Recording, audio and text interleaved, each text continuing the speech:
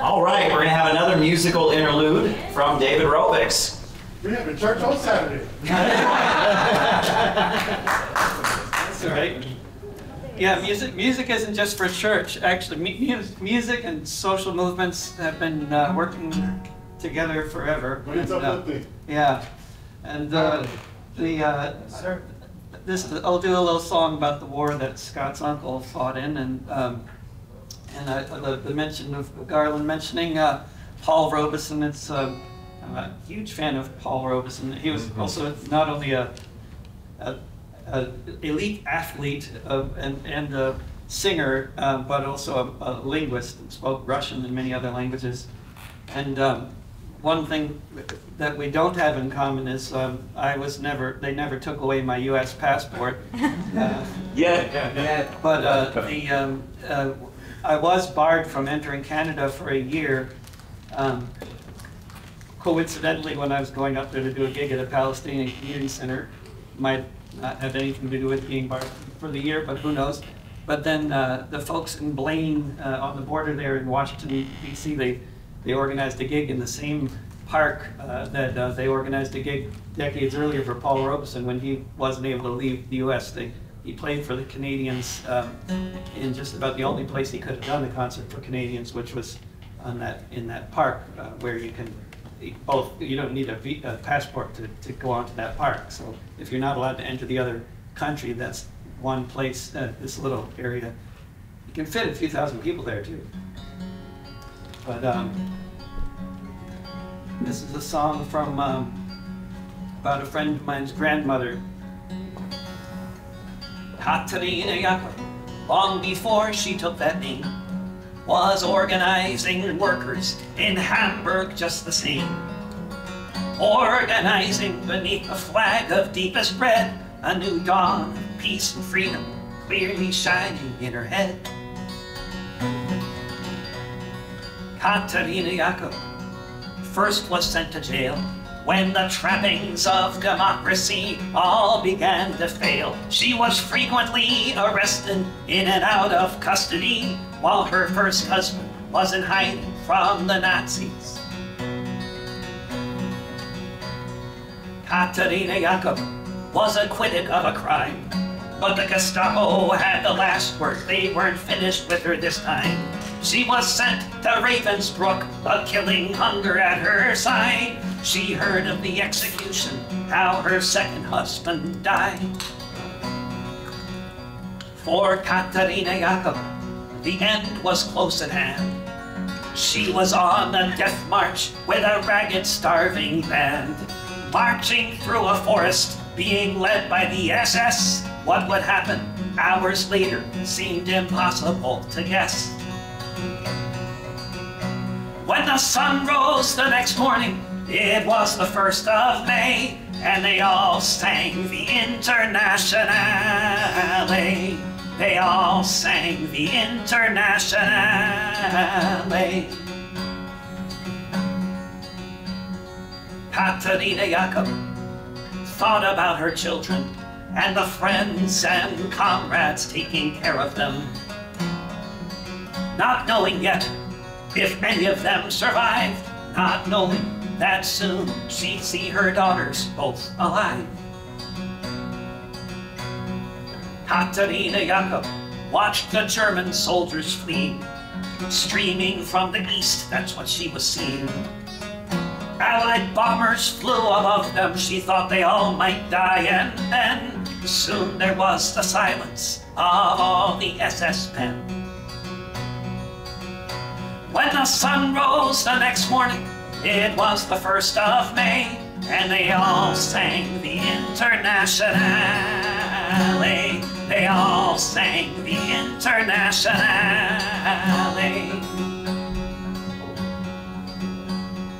Katharina Jacob saw red flags flapping in the breeze above the Russian tanks, and she fell upon her knees. And so many different voices in so many different tongues sang the most beautiful song that could ever have been sung. In German, Lithuanian, in Polish, and in Dutch, A myriad of melodies as never had been such in Russian and in Yiddish. Italian and French emerged from the forest beneath the trench. When the sun rose the next morning, it was the first of May, and they all sang the Internationale.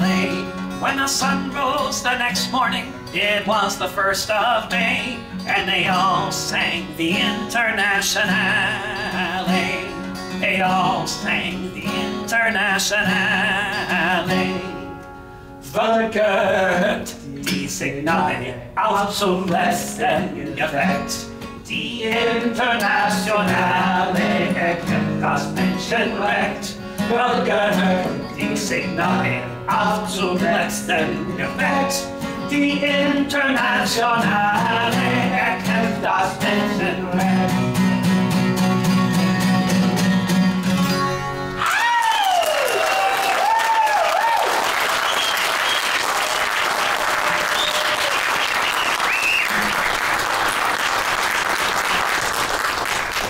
Didn't know David was going to play that. That's an old favorite of mine. So, wow, that's great.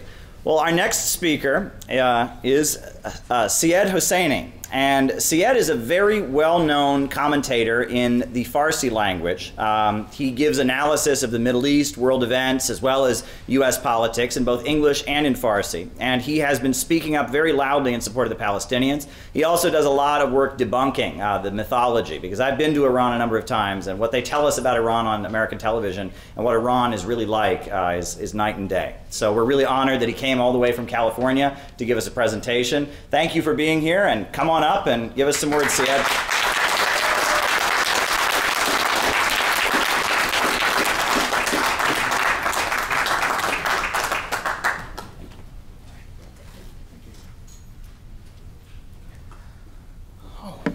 What a great day.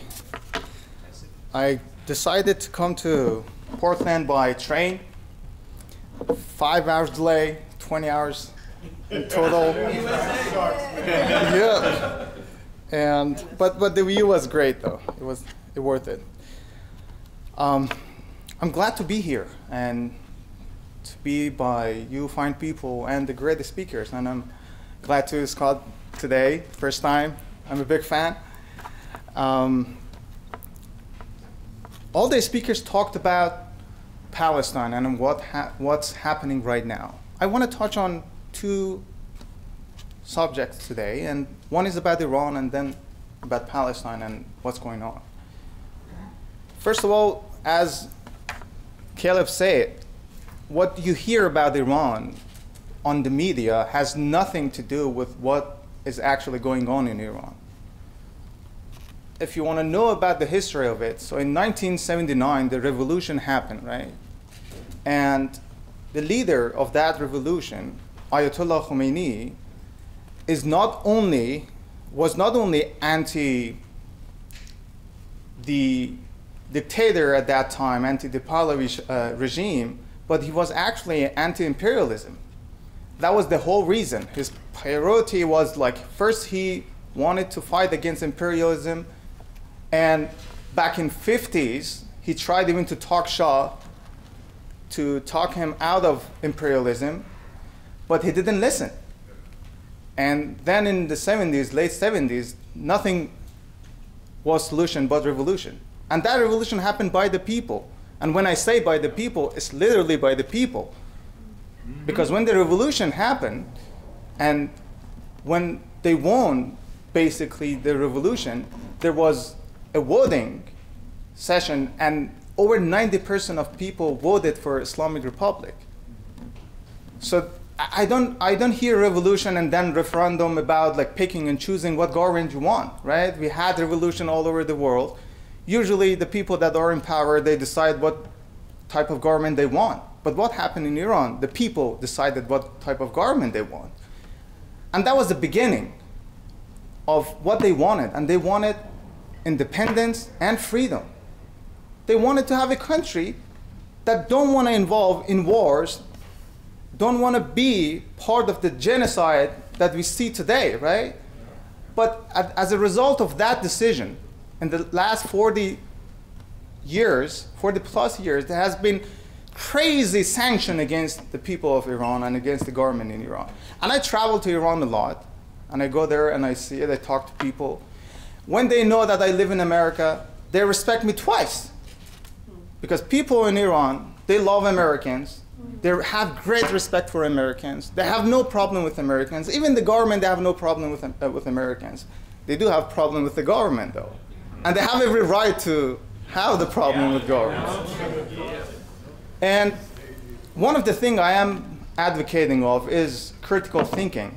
And to me, how I define critical thinking is that right now, in today's world, we receive massive of information, right? And we don't have time to double check, to fact check them, right? So it's really important. To me, how I define critical thinking is that once we receive information from everybody, we heard a lot from Scott, we heard a lot from Caleb, we, we hear a lot from news. We don't have to be agree with everything, right? But what critical thinking means that whatever I receive, I will have at the end of the day, the result of my thought is only my words and my thoughts. Not because someone told me to think this way, to think that way. That's how media is working right now. That's why they bring analysis on media, the news.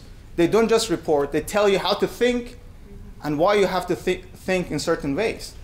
That's why you hear a lot of crazy things about Iran. And even I believe that. I'm sure you heard about the protest that was going on last year in Iran, right? Revolution is happening in Iran. And they were saying that the airport are, are shutting down and, and uh, the revolution is happening. So I decided, even as a person that lived in Iran and is traveling to Iran, I was like, I want to see it before my eyes, right? I don't want to believe the media. So I traveled in the middle of the whole thing that they were called revolution. And I went to the three biggest city in Iran. And I was looking for protests. And I couldn't find one. I'm not saying there wasn't protests. Of course there was protests. And I mean, Iran is a country with 90 million people, right? It's a big country. So there were definitely protests. But how the media was showing is that it's like, let's imagine we have three cameras here, one there, one here, and one the other side, and they're, they're, they're recording us from different angles. And they're showing the same video, the same different time, saying that this happened in Chicago, this happened in California, and that one happened in, in Portland, right? But they all happen here. That's how, how, how the media was portraying, how, how showing that the revolution is happening or, or whatever. But there was, there was no revolution, and people were pissed off at some of those protesters because it's not just protesting. They were destroying public uh, transportation. They, they, they burned up ambulances and police cars, and they killed, they burned police officers alive. It's crazy. And I don't know if you have seen those videos or even if, if those videos are allowed to, to be seen in the United States, but I have, I've seen them.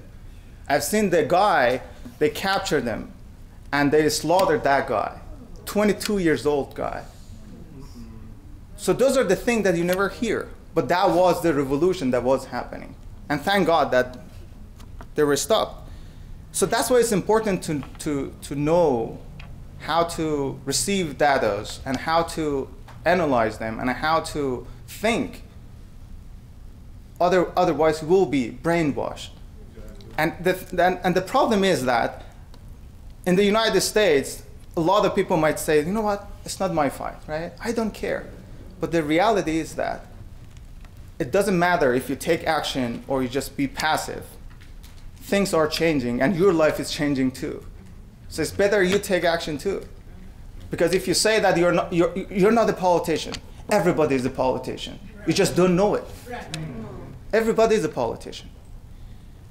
So what's happening on October 7th, right? And the reason I talked about Iran is that when October 7 happened, a lot of articles were out that Iran was behind the whole October 7, right? Which is a big lie. Iran Authority, from the, the supreme leader to other authorities, they said that they had nothing to do with it. And the reason they said they had nothing to do with it it wasn't because they didn't want to say, oh, we, we're lying or whatever. Iran, in the last 40 years, they always supported Palestine. Mm-hmm. It's the the biggest country and the nation that supports support Palestine from different time in the last 40, 40 years, right? So why they are saying they're, they, they had nothing to do with it? Because they had nothing to do with it. It was just a purely Palestinian thing to do.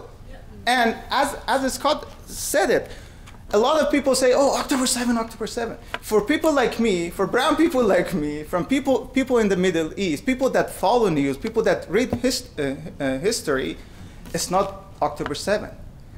Imagine there is an ongoing reality TV show, right? And that reality TV show has 75 episodes. And for some reason, you just start watching from the 75 episode, right? You haven't watched the rest of the episode, and you're like, oh my god, these people are killing and doing all these things. I'm like, have you watched the 74 episodes?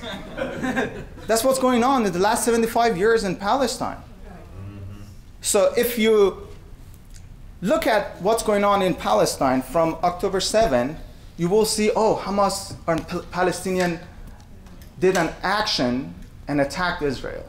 But the way I see it, and the way that everybody should see it, it wasn't an action, it was a reaction.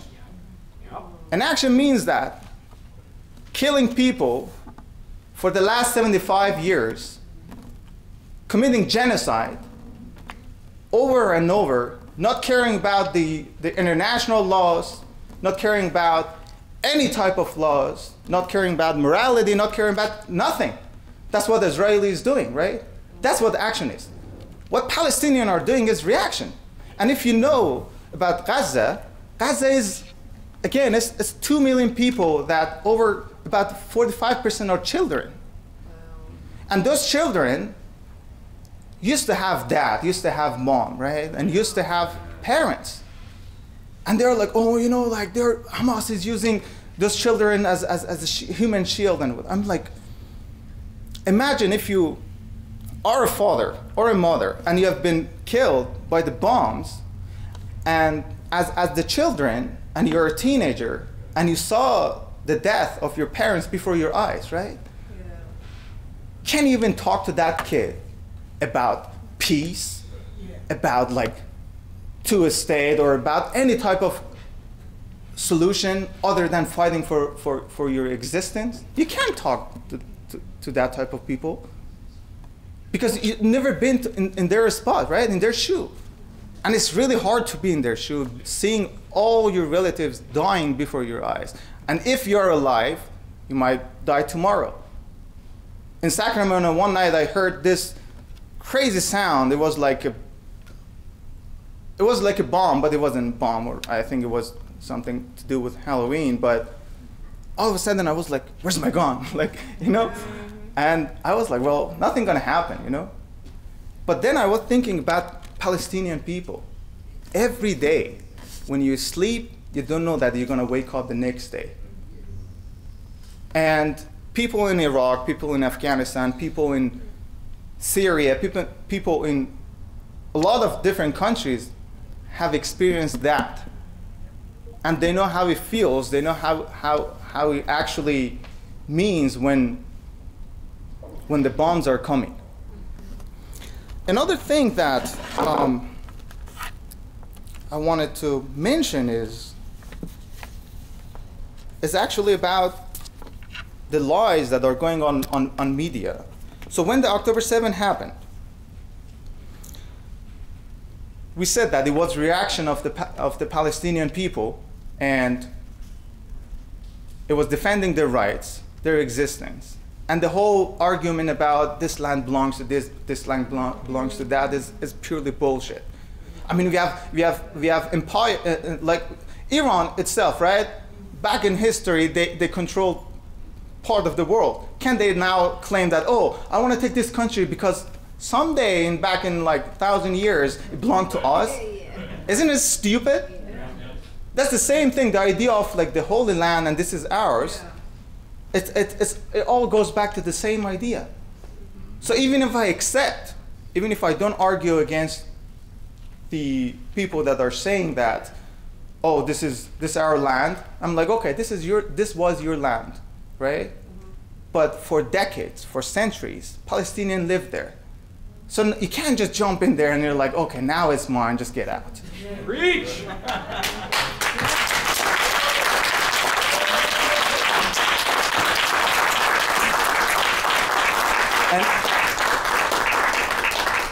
another thing that you even hear from our politician here is that I know, I know, like when war happens, there are normal people gonna die, innocent people gonna die. I get it, war is bad, but when it happens, normal people die, innocent people die, and they call it casualties, right? But what doesn't make sense is the numbers. If you're killing 10 people, 10 members of Hamas, versus 10,000 innocent people, that's not casualties, that's purely genocide. Yes. Yes. That is genocide. So the idea of like this is this is just casualty. No, this is not casualty. Casualty means like I mean, it, I mean that's the definition of casualty. It shouldn't be the main thing. Like if I if I go to a restaurant, if I have a fight with a guy, and I start shooting everybody in the restaurant, and if somebody asks me why did you do that, I'm like, that's just a casualty. I wanted to shoot that guy, but I mean, it happened that the rest of the people in the in the restaurant to be there. That's what's happening, right? They're bombing every place. And today, when I was coming here, I, I read the, uh, the news about uh, the hospital and Nasr Hospital. They, uh, they, they cleaned up hospital on, on, on, uh, on October 10th, I believe. And right now, the NBC and there are some Emirate News, they could go inside. And it's all babies in ICUs, dead bodies for days and weeks. And now, now the footage are, are out there actually. So even the, the journalists that, that didn't really wanted to talk about it, now they're also talking against it as well. I want to finish up because a lot of, of most of the, the speakers pointed out all these great things. But I want to tell you this what's happening here, what you're doing actually, is, is a great thing. And don't look at it as, even uh, a lot of speakers said it's the right time. I'm saying, even if it's not the right time, you should do it. And the reason I say that, when Ayatollah Khomeini was, was going for a revolution, everybody used to make fun of him, even other religious people. Like, revolution against the, the Pahlavi regime? Like, are you joking? But he, he did it. And in 1979, when revolution happened, a lot of leaders, they, they, they say this, they couldn't believe that that happened. Even the same year that the revolution happened, the leaders that were running the revolution said we couldn't believe it. We saw it like maybe the next decades, 20 years. So it's happening the same thing here. You, might, you may say like, okay, I'm, I'm coming like, I, I know like a lot of even the CPI uh, members coming from different states, right? And you should be proud of yourself. And you should just keep doing it and keep going because you never know when it happens. But when it happens, you will be glad that you're part of it. Thank you.